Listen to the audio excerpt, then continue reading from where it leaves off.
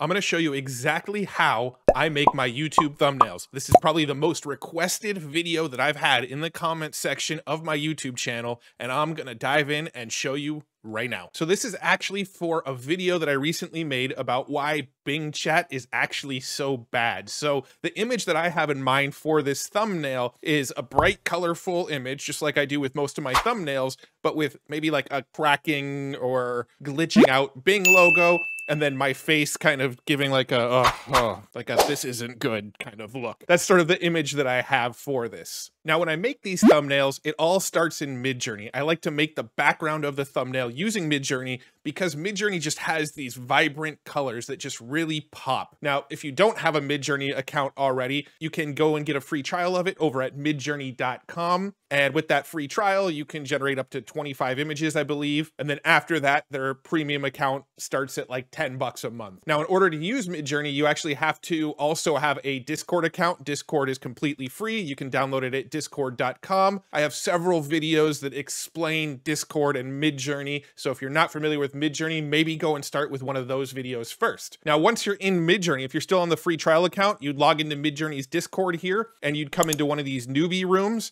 and you would generate your images in one of these newbie rooms. Since I'm on one of the paid accounts, I actually get to use Midjourney in a private room and I don't have to deal with everybody else generating their images. Now, because the theme of this video is Bing sort of glitching out, I'm going to try to make a colorful background image that represents a glitch. And if you've watched my previous Midjourney videos, you would know that I like to use less in my prompts with Midjourney because the less I give it, the more kind of creative Midjourney gets with the prompts. And I usually end up generating images that are just better than what I would have come up with with my own brain. So I'm going to let Midjourney do a little bit of the work for me to get the background image. So let's go ahead and type imagine. And since this is referencing Microsoft Bing, I like to throw the brand name in there because sometimes it will try to incorporate that brand's logo into the image. So let's put Microsoft and then let's put glitch. Let's add RGB here. When you add RGB, it stands for red, green, blue it usually makes it so there's a lot of color in the imagery. And then I like to add this little rainbow emoji because then that really makes sure there's a lot of color in the image. Let's go ahead and put no people.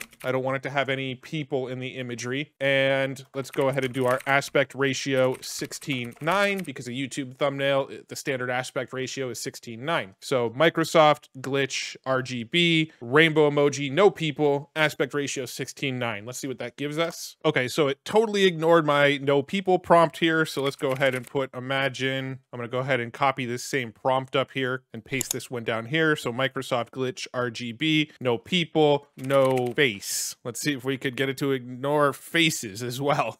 okay, so I actually re-rolled it a couple times here until I got some images that I liked. So here was the first round that it came up with. These didn't really represent what I was going for. This one kind of did with a computer sort of melting down here, but I don't know, it looks a little like too dark and evil to me. But then it came up with this one, which I really like because it's kind of got that Microsoft logo going on there and it's a computer falling apart. And that could kind of be representative of the Bing Sydney situation breaking down a little bit. So I'm going to roll with this image and see how it comes together when I go to fully compose everything. So I'll go ahead and upscale number four here. And while we're waiting for that to upscale, I'm going to jump into Stable Diffusion. Now I prefer to use RunDiffusion in the cloud because quite honestly, I can run a faster GPU in the cloud on RunDiffusion than I would be running on my own computer right now. Now, if you've never watched this video on my channel here called Inject Yourself into the AI and Make Any Image with Your face. That explains the process of how I actually got my face into Stable Diffusion so that I could make images generated with my face. The rest of this video is probably not going to make sense to you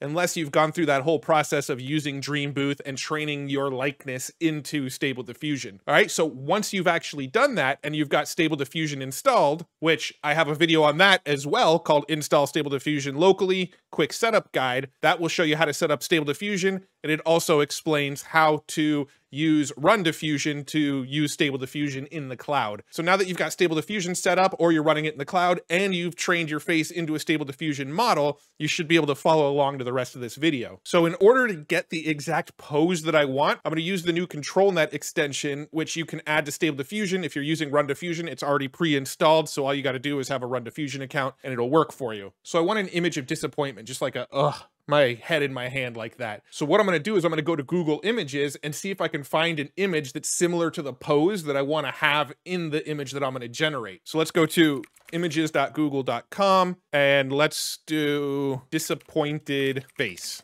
Let's see what it finds for us. So an image like this would be perfect. I want to make sure I have the proper licenses to use it. It's sort of a gray area right now of whether or not I can use an image like this, even though I'm not using this image itself. I would be sort of training Stable Diffusion to give me a pose like this. And so I don't really know how that whole thing plays out. So I'm going to go ahead and go to a stock photo site, which I have some credits at and try to find a similar image here. Let's go face palm. So I found this image on a stock photo site. I'm gonna go ahead and purchase it. That way I know I'm not gonna be getting in any trouble for using this image for my pose. Again, I'm not going to actually use this image in my thumbnail. I'm just using it to get the pose from it. All right, so I'm going to jump back into Stable Diffusion here, and I'm going to open up ControlNet down here, and I'm going to take this image that I want to use the pose for, and I'm just going to drag it and drop it right in here to make sure I use this pose. I'm going to make sure I enable ControlNet for my preprocessor. I'm going to use depth and then select depth again here. All right, so I entered a prompt here, and just to give you some context, Dominic Cooper is actually a famous actor, but it's also the prompt that I trained myself on. Back when I trained my likeness into this model the first time around,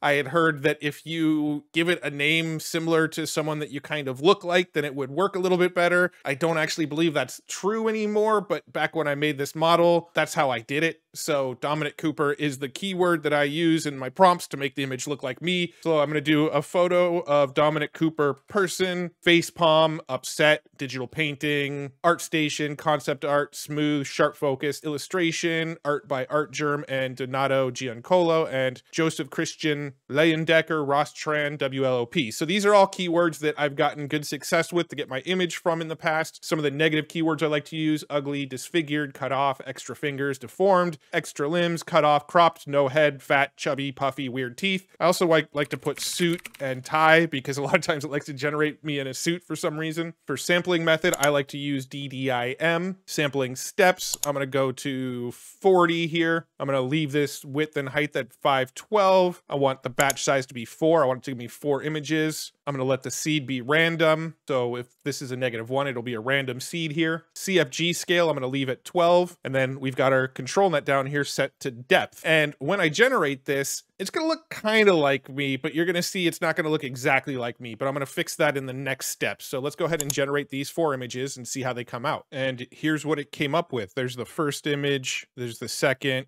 there's the third, and there's the fourth. Now you can see they kind of look like me a little bit, but not totally. I think I'm going to go ahead and work with this one right here. And so what I'm going to do is I'm going to send this one to InPaint. I'm going to click on Send InPaint. And you can see it regenerated it over here in InPaint. And I want to sort of paint where my face is and try to get it to look a little bit closer to what I look like. So I'm just going to carefully try to trace around the hair and the face like so. Don't need to get it all because it's already kind of close-ish. The beard's not not quite there, so I want to get rid of the beard because it made it a little bit too long. And so I'm just going to go ahead and paint that out like so. Up here, I'm going to put parentheses around the Dominic Cooper and person so that it knows that's kind of what to put the focus on here. And then down under my in-paint settings, I want to make sure this is selected on in-paint masked, and then in-paint area, I want it to be only masked. Ideally, we get some images that look more like my face in here. So let's go ahead and change our batch size to four, give it four shots at it, bring our CFG scale up a little bit here, and let's go ahead and generate four of these, and let's see what it gives us. All right, so these are the images that it generated here. You can see it kind of looks closer to my face, so let's kind of take a peek. That one's a little off still. That one gave me a neck beard. That one gave me a really long beard. And this one actually looks pretty spot on. This is kind of what I'm going for here. I mean, this hair is a little bit darker than my actual hair color, but I'll work with it. I think that's close enough. I think people will see the thumbnail and get the idea that that that's supposed to be me. So let's go ahead and make sure we save this one. And now it's time to pull it all together. So to pull it all together, I used Canva. If I come over here to canva.com, come up to the top right and click create a design,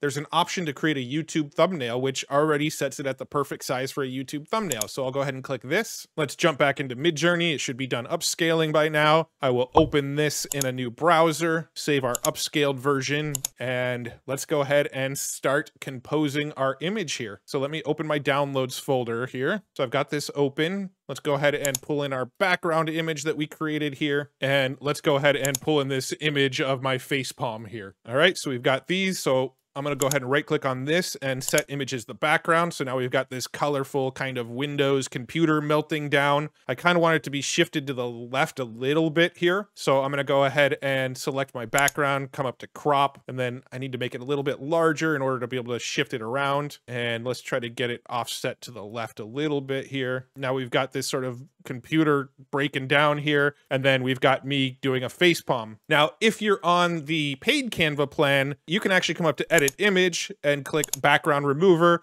and it will actually take out the background of the image here. If you don't have the paid Canva plan, you're using a free version of Canva, there's tons of websites where you can remove the background. In fact, if you go to futuretools.io and you go type in remove background, this one right here, this REMBG is a free background remover that you can use. But since I do have a paid Canva account, I just do it right here in Canva and you can see it remove the background. So now I've got my likeness trained into the image. I'll make it sort of this larger image here and just kind of position it the way I like it. Now this background's looking a little grainy to me, so I actually want to upscale it a bit. So one more time, I'm to come over to Future Tools here. I'm going to type upscale this U-P-S-C-A-Y-L. This is a free upscaler here, which is really good.